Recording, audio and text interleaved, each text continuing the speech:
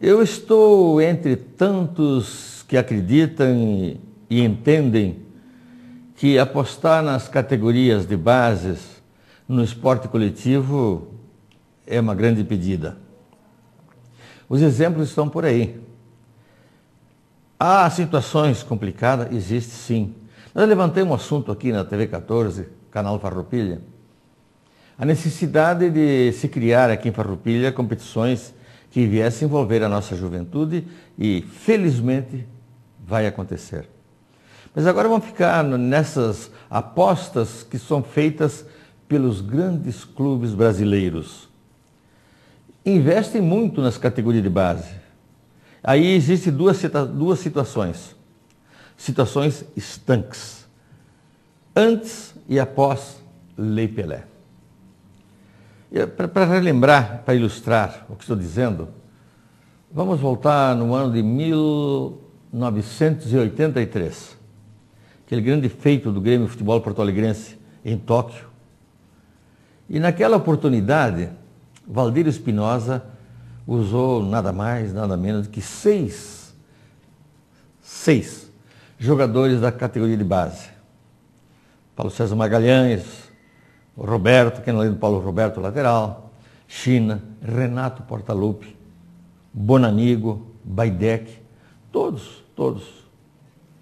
E agora há poucos dias o Grêmio foi na Bahia e fez uso de cinco jogadores da categoria de base na faixa dos 20 a 18 anos.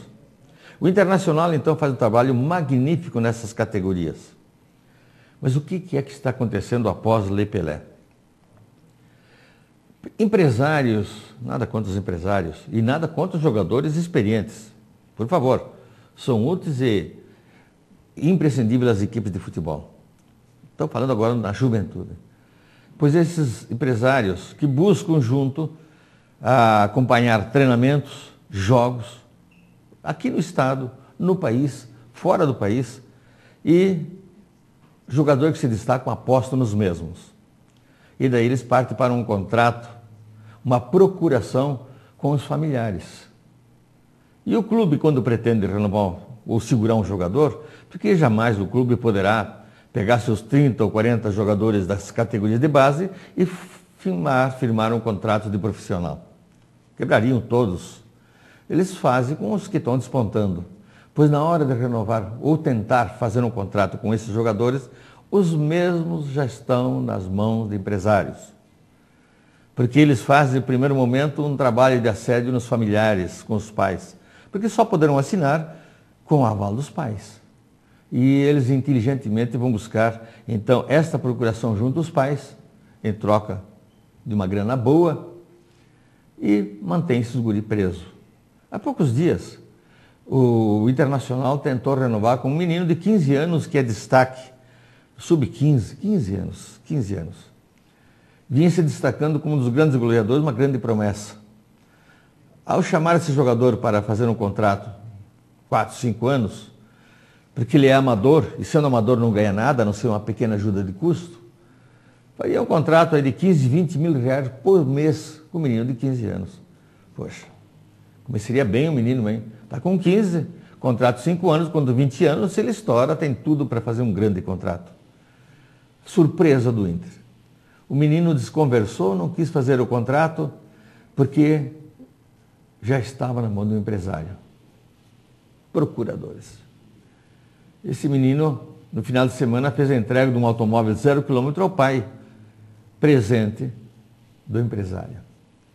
O Inter se obrigou, então, sim, fazer um contrato de vínculo com esse jogador, entre aspas, porque 40, 50, 60% está na mão do empresário. E mais uns 10 na mão do próprio atleta. E o clube vai ficar com uma miséria ali de 30% e olha lá. E se obriga a fazer o contrato. Se obriga a fazer o contrato, pagar salários para não perder esse jogador. E na hora da venda, quem lucra são os empresários. É uma situação complicada que tem que ser revista. Essa lei tem que ser revogada, aprimorada para proteger os nossos jovens, que têm centenas e centenas de jogadores na faixa dos 15, 16 anos, jogando fora do país, no exterior. Alguns dando certo e outros sofrendo até problemas financeiros e estão lá jogados. Estão lá jogados sim, porque não aprovaram. São as apostas na mão dos empresários que não dão certo. Tudo isso é muito ruim e nós temos que pensar seriamente em proteger a nossa juventude. Pense nisso enquanto lhe digo boa noite.